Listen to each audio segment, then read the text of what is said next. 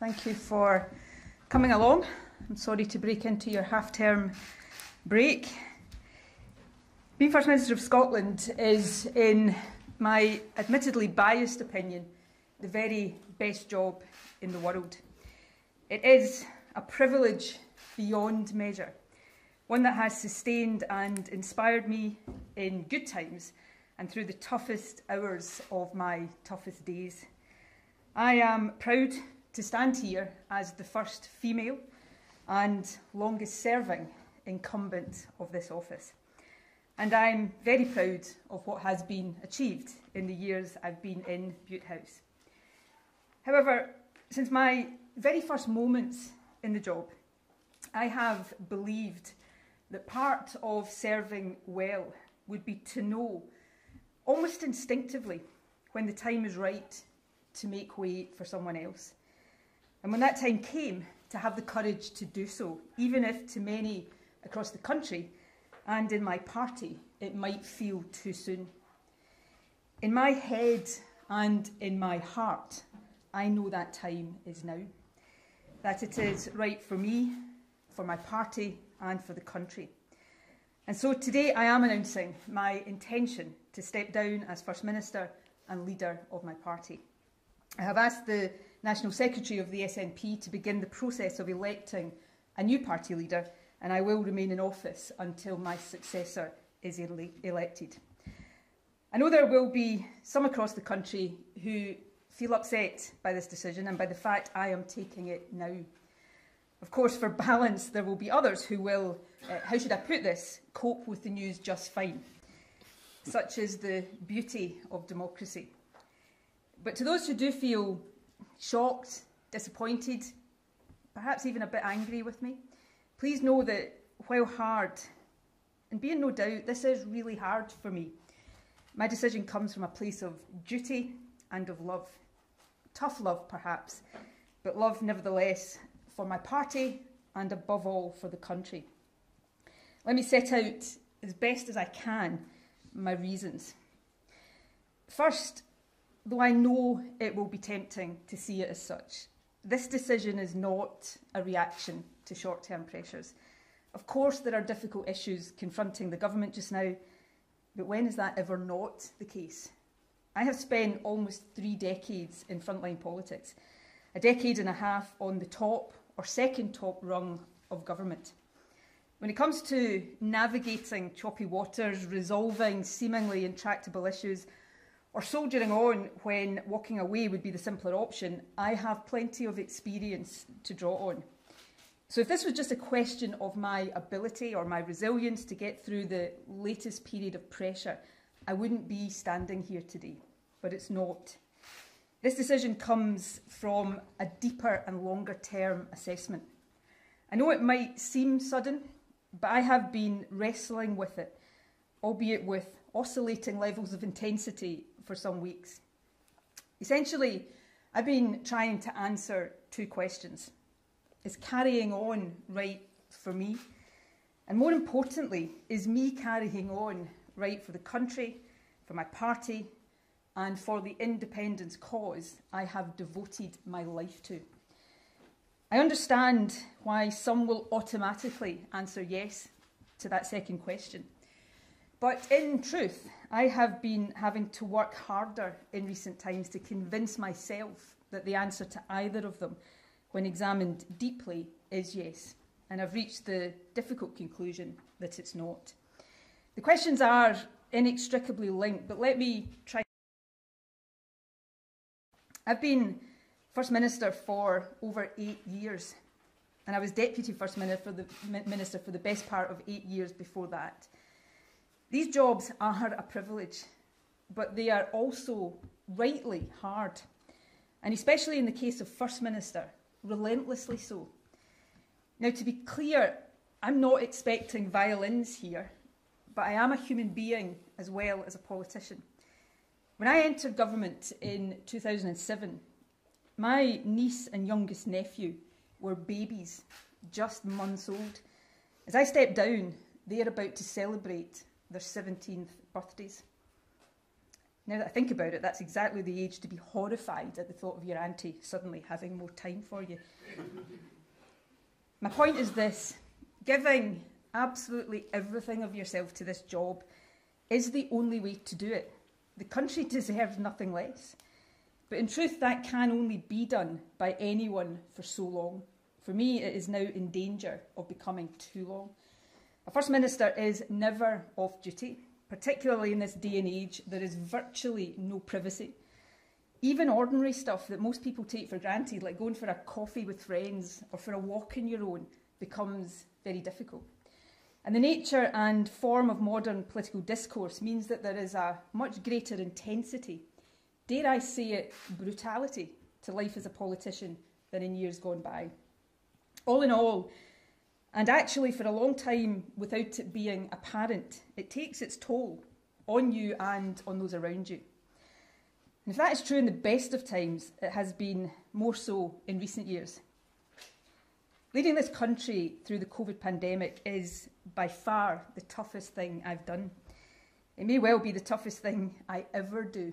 I certainly hope so. Now, by no stretch of the imagination was my job the hardest in the country during that time. But the weight of responsibility was immense. And it's only very recently, I think, that I've started to comprehend let alone process the physical and mental impact of it on me. So, what I'm really saying is this if the only question was, can I battle on for another few months, then the answer is yes, of course I can. But if the question is, can I give this job everything it demands and deserves for another year, let alone for the remainder of this parliamentary term? Give it every ounce of energy that it needs in the way that I have strived to do every day for the past eight years? The answer, honestly, is different. And as that is my conclusion, hard though it has been for me to reach it, then given the nature and scale of the challenges the country faces, I have a duty to say so now. I feel that duty first and foremost to our country to ensure that it has the energy of leadership that it needs, not just today, but through the years that remain of this parliamentary term. And right now, in a very particular sense, I feel that duty to my party too. We are at a critical moment. The blocking of a referendum as the accepted constitutional route to independence is a democratic outrage. But it puts the onus on us to decide how Scottish democracy will be protected and to ensure that the will of the Scottish people prevails.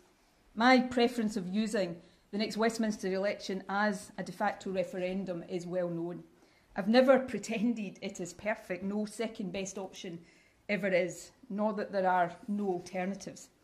That is why I have always been clear that the decision must be taken by the SNP collectively, not by me alone.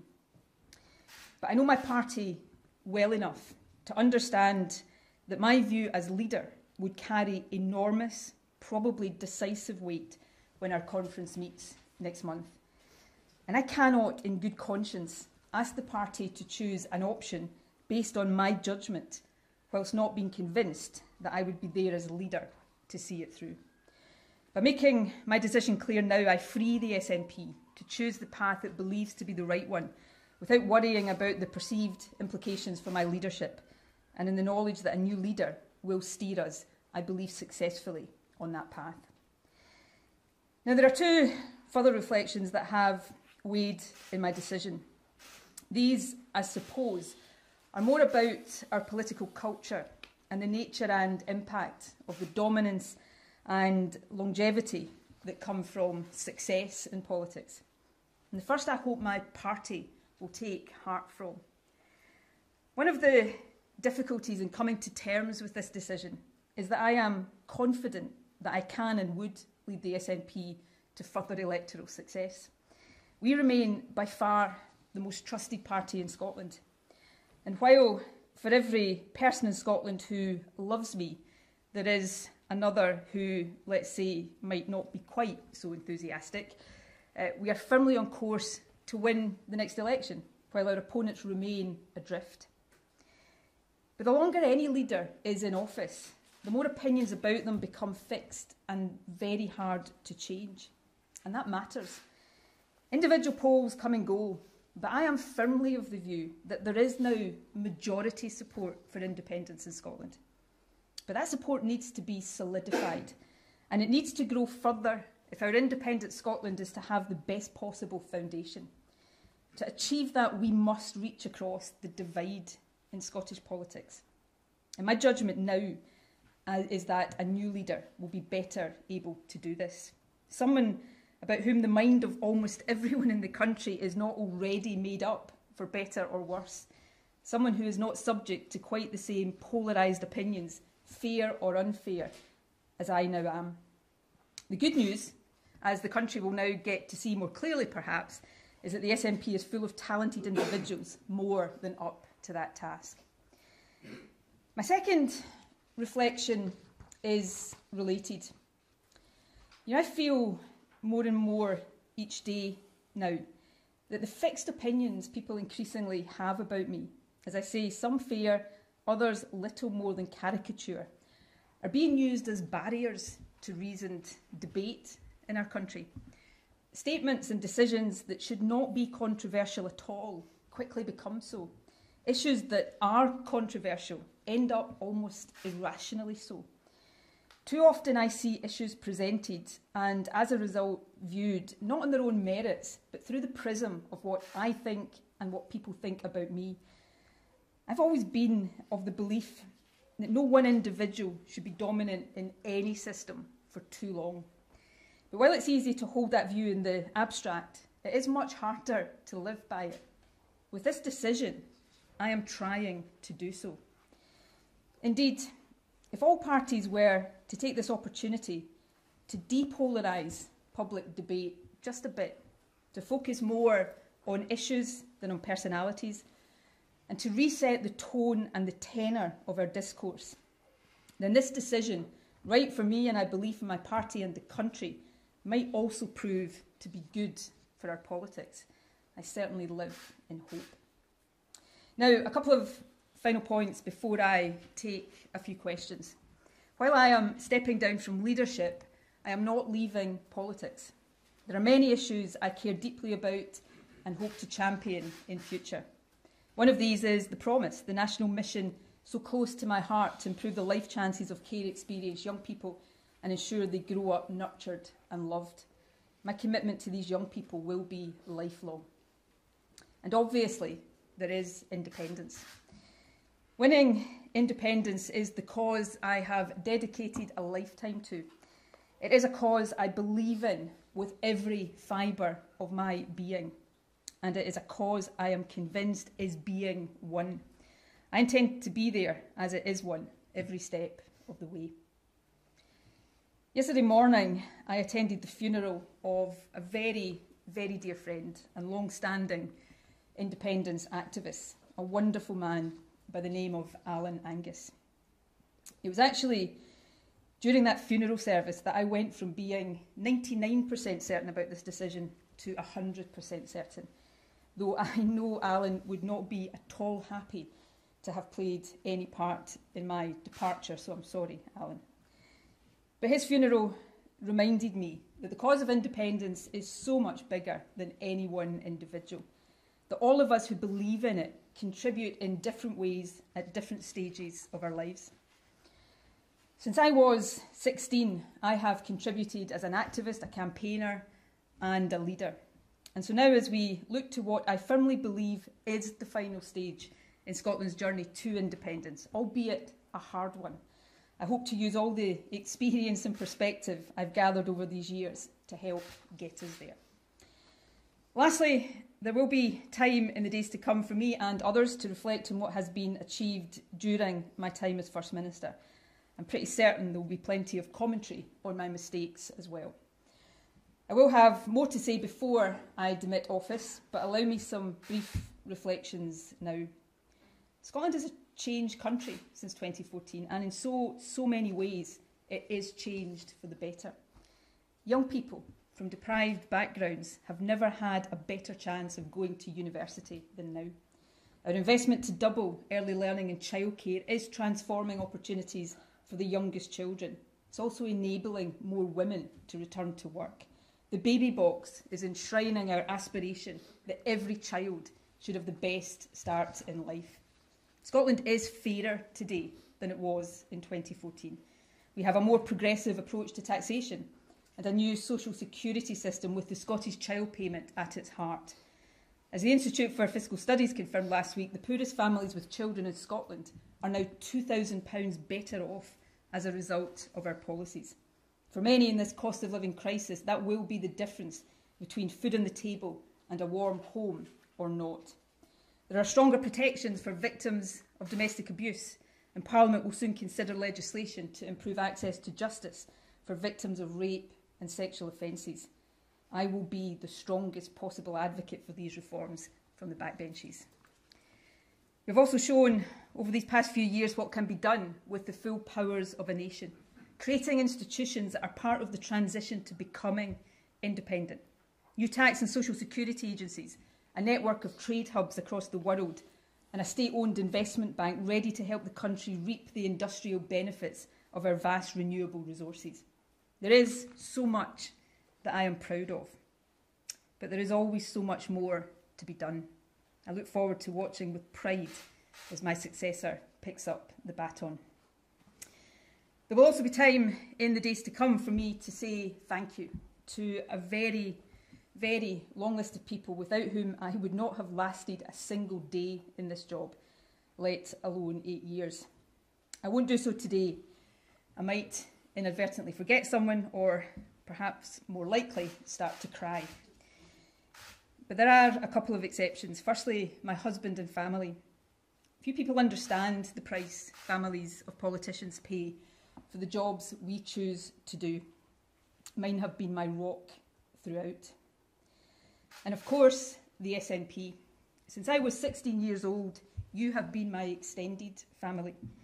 Thank you for the honour of being your leader.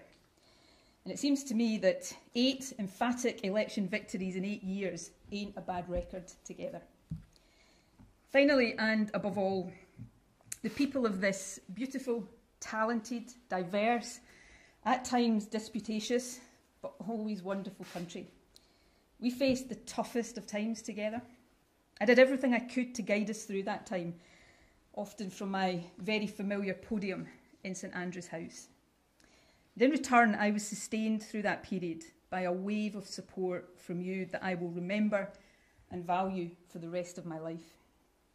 So, to the people of Scotland, to all of the people of Scotland, whether you voted for me or not, please know that being your First Minister has been the privilege of my life. Nothing, absolutely nothing I do in future will ever come anywhere close. Thank you from the very bottom of my heart. And with that, I will take a few questions. If you forgive me, I'm not going to do my usual and go round absolutely every journalist in the room. There will be time over the next few weeks, I'm sure, for you all to ask me questions, but I'll take a few questions uh, for now, and I'll start with uh, Glenn Campbell from the BBC.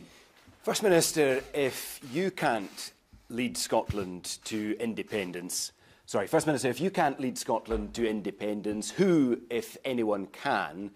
And what is the timetable now for your replacement? And on a slightly lighter note, do you now owe Douglas Ross £100 as a result of a bet? I think it was 50, so if he's already inflated it to 100, uh, we may have words there. Um, I will let uh, Mr Ross have the bet. Uh, my party will keep winning the elections. Um, on your other questions, on the timetable, that's a matter for the SNP National Executive Committee. I'm sure it will set out the timetable for the election of a new SNP leader over the coming days um, and I will demit office when my successor has been elected and then obviously subject to the will of Parliament uh, elected as the new First Minister. Um, I, and this is a question that no matter how many times you ask it of me over the next few weeks, no matter how many inventive ways you find of asking it, I am not going to say who uh, my preference will be uh, to succeed me. Uh, what I do know is that the SNP is awash with talented individuals. One of the things uh, that I've often reflected on um, is that when a political party, any political party in any country has very dominant individuals, others, through no fault of the dominant individual, I should say, uh, and not sometimes for the want of trying. Often others become a bit eclipsed there. So what I am looking forward to, and I think the country will enjoy over these next few weeks, is seeing that talent um, and seeing the array of talent. I believe I have led this country closer to independence. I believe we are in the final phase of that journey. I think it will be hard because now we have the dual challenge, the one we always had of convincing a majority, a solid, sustainable majority of the merits of independence, but also, secondly, a challenge that is new of finding, in the face of Westminster anti democratic opposition, that democratic route to allowing the will of the Scottish people to be expressed. And I believe that my successor, I firmly believe that my successor, whoever he or she may be, will lead Scotland to independence. And I'll be there cheering him or her on every single step of the way. Uh, Connor Gillies from Sky. Thanks, First Minister. Um, you say that you've been wrestling with this decision for a, a number of weeks now, and it's not in reaction to some issues over the last uh, couple of weeks, couple of months. Do you believe, though, that the issues, and particularly the row around transgender prisoners, was the straw that broke the camel's back here? Uh, and second of all, has it been a failure of your leadership not to have delivered independence since that was your sort of founding mission back in 2014? I'll leave other people to be the judge of my leadership. It's uh, probably a bit invidious beyond saying what I'm proud of, and taking this country uh, ever closer to independence is one of those things. It's a bit invidious for me to, to cast that judgment. No, uh, that issue wasn't the final straw. Look, I'm, I'm long enough in the tooth. I've, I've been in politics, as all of you know, for a long, long time. I'm not going to stand here and insult your intelligence and say that I live in a world uh, that is divorced from the realities of what is going on around me. Um, but it's not the case that this decision is because of short-term issues. I've faced more short-term issues from time to time over my years in politics than I, I care to remember. Um, and if it was just that, I, I wouldn't be standing here today. What I would say, though, is this, and I, I did allude to this in my remarks. I suppose when I look at some of the issues that are being hotly debated in Scotland right now, one of the things that I do regret, I suppose, is not being able to bring uh, a more uh, rational approach to these debates. And I think that goes back to some of what I said earlier. These debates, some of them, one in particular right now, is obviously controversial in its own right. But I think layered on to the top of that, there has been people's views about me, about independence, and, and suddenly debates that should be uh, rational and that we should be capable as a country of having rationally uh, become something very different. Um, I will always be a voice for inclusion, for quality, equality, for human rights uh, and dignity. Um, I have been, am, and will always be a feminist. I will fight for women's rights and I will stand up against threats to women's rights uh, every uh, day that I have breath in my body. Uh, but I'll also stand up for any stigmatised, discriminated against, marginalised and vulnerable group in society. And I believe, and call me, you know, an optimist. Not many people call me an optimist, but I am at heart an optimist. I believe these things can co and must, in any progressive, liberal, inclusive society, find ways of coexisting. Um, and whatever role I play in politics in the future, uh, I will always seek to do everything I can uh, to turn that into a reality. Colin Mackay. How have you gone from having plenty in the tank three weeks ago to an empty tank today? What is it that's changed over the last few weeks? You've mentioned some things. The only thing you didn't mention is the police inquiry into the party's finances. As, look, these things are not uh, the reason I'm standing here today.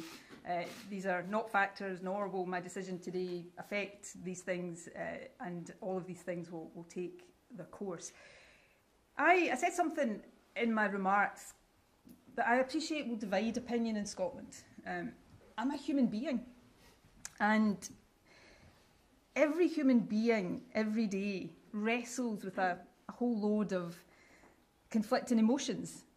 And over the last number of weeks, probably since around the turn of the year, you know, I've been struggling with with just that. You know, I get up in the morning and I I tell myself, and usually I convince myself that I've got what it takes to keep going and keep going and keep going. Um, but then I realise that that's maybe not as true. And, and you go through a process of just deciding where it is and that decision you're going to fall. And, and that's the decision I've come to today. I could go on for another few months. I don't know, um, six months, a year maybe.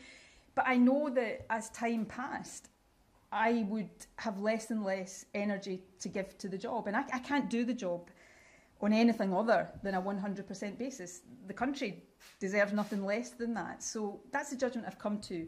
If that's my feeling that I'm going to get in a relatively short space of time to where I am today, then I owe it to the country to say it now so that that new leadership can be in place. And as I said, in relation to my party, I, I don't want to stand at a special conference, um, what, a month or so from now, and ask my party to take my judgment, opt for a path, knowing that I have doubts about my ability to see it through as leader. This is a better thing to do today for me, for my party, and I believe for the country too. James Cook. Thank you. First Minister, I think it's fair to say that the NHS is in a really serious situation. The attainment gap between rich and poor pupils, which you'd said was one of your core missions as First Minister, remains pretty wide. And despite what you're saying today, polls suggest that you have got nowhere near creating a sustained majority for independence. Do you have regrets about one or any of those issues? Oh, again, James, I'm a human being. I don't know if you've got regrets about things in your life. Of course, I've got regrets about all sorts of things in my life. And as I reflect on my time as First Minister, there'll be things I am hugely proud of um, and things that I regret. And if I had my time again, I might do differently. And forgive me, there'll be plenty of time for me to do that. There'll, I'm sure, be plenty of time for you to do that, and I'm, I'm sure you will. Um, so, yeah, but I'm proud of my time as First Minister. Um, but I'm also proud that I know when it's time to move on and to pass on to someone else. Um, the country, the cause I believe in, my party, everything is bigger than any politician no matter who they are and no matter how dominant they've been for no matter how much time. You know, politicians come and go all the time. The country is what matters and the future of the country is what matters. I'm proud of the part I have played and hope to continue to play in a different capacity in building the future of this country. But I think in terms of leadership, it's time for someone else.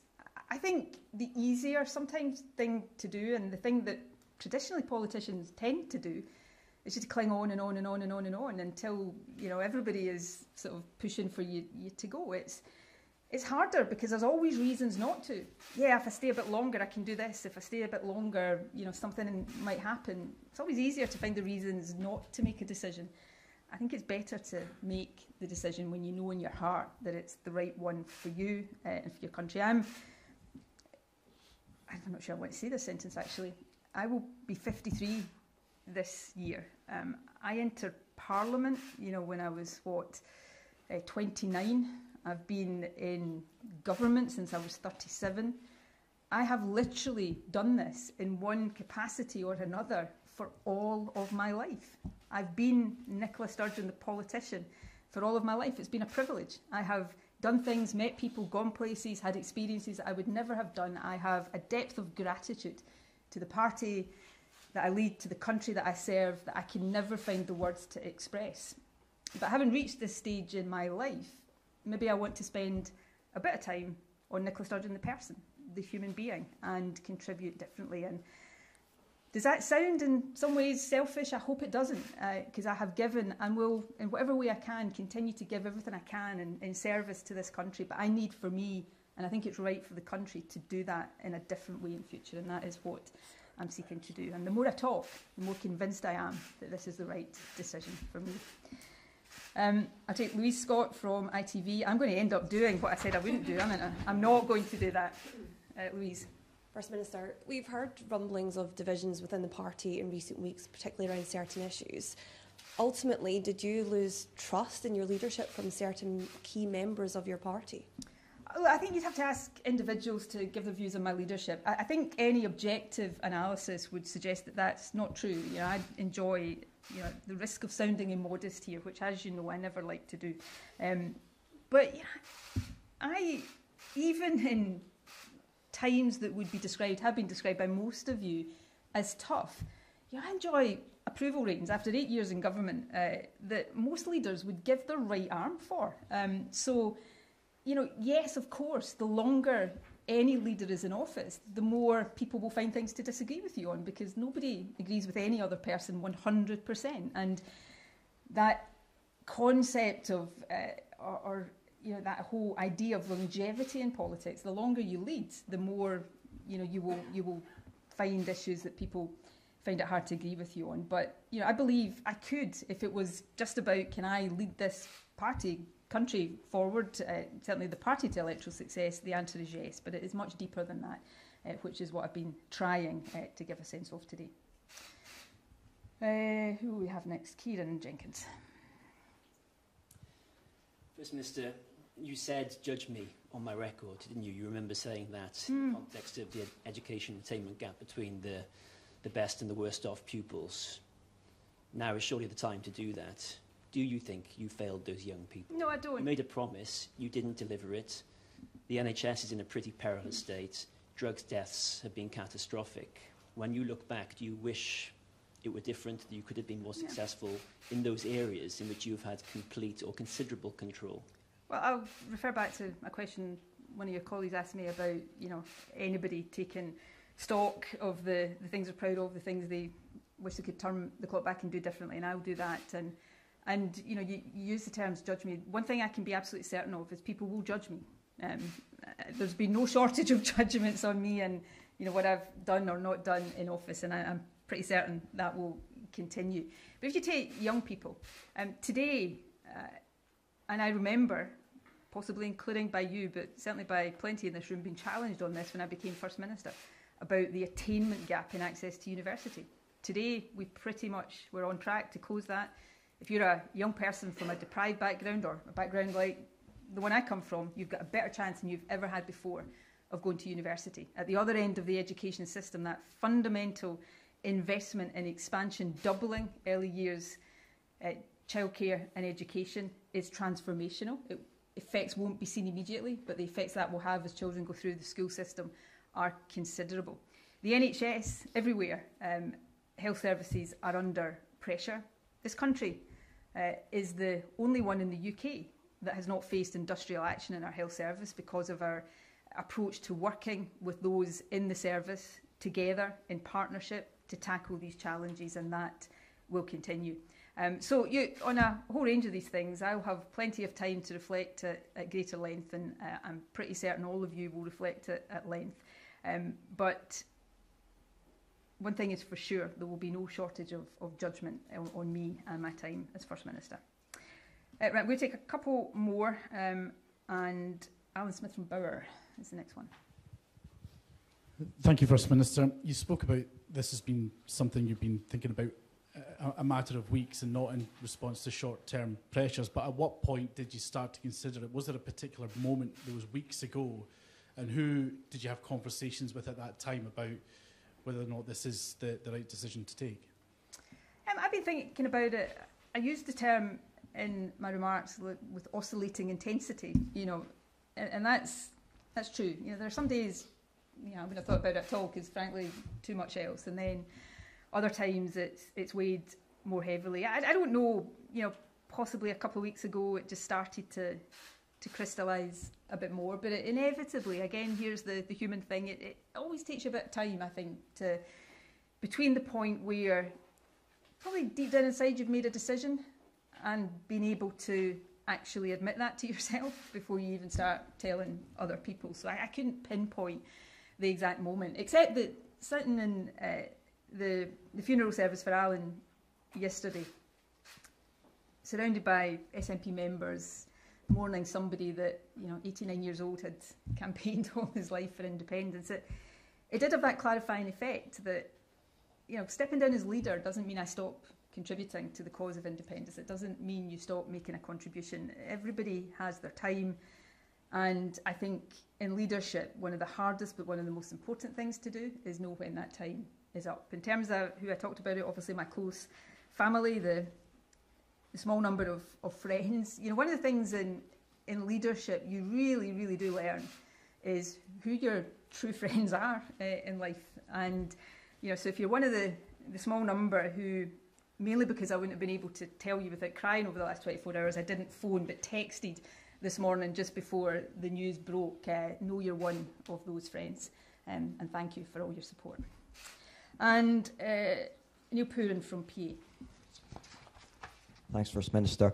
Uh, first of all, can you just confirm if you'll be staying on as an MSP and what kind of issues you'll be uh, campaigning on uh, as an MSP? And also, will the cooperation agreement with the Scottish Green Party need to be renegotiated now if you, as First Minister, are no longer in that role? Um, I, I, the cooperation agreement stands. I'm not going to try to dictate uh, anything, uh, or at this stage, certainly not uh, now and hopefully not ever, start to issue unsolicited advice to my successor. I, I know from experience that's not always something that is welcome. Don't report that bit. Um, but, you know, I think the cooperation agreement with the Greens has been a thoroughly good thing um, for the government, for the country, and I, I would hope to see that uh, continue. Uh, your first question, which I'm... Oh, yes, I, I do intend to remain in Parliament. I uh, hope to stay in Parliament till, or intend to stay in Parliament till uh, certainly the next election, and you know, like all MSPs, uh, take a decision about uh, beyond that nearer the, the time of the next election. Um, you know, the other uh, body or people, I suppose, that I want to thank and was hesitant in doing it today in case I started to cry is, are my constituents uh, who have supported me through thick and thin, put their trust in me time and again. My constituency party, uh, what was Glasgow Govan, now Glasgow South Side, that have literally been by my side since 1995. And I, I look forward to continuing to serve my constituency to the best of my ability. I've given some uh, indication of the kind of issues I'll uh, want to be a voice on. Uh, there's some very important reform to the criminal justice system coming forward, I know, uh, around improving access to justice for victims of sexual offences. I will be, a, they'll be controversial. Maybe they could be one of the first tests of a, a more depolarised political debate, but I will be the strongest, most strenuous advocate for these uh, reforms. Uh, young people, care experienced young people, I certainly will continue to champion that cause. It's one that got under my skin and into my heart in a way that few other issues did over my time as First Minister. Um, and yeah, beyond that, uh, we will see. Um, I'm looking forward to new opportunities, new challenges, um, and just a new way of living life. And perhaps, and above all else, that's what I'm most looking forward to just a, a different way of living life, catching up with the people, the friends uh, that I've not had much opportunity to spend time with. Um, but watch this space, there's plenty more to come. Right, with that, I'm going to depart. First Minister, just on one factual point, have you been or do you expect to be interviewed by the police who are looking into your not, party's I'm finances? Not to, I'm not going to discuss uh, an ongoing police investigation. I wouldn't do that on any issue, and I'm not going to do it now. Thank you.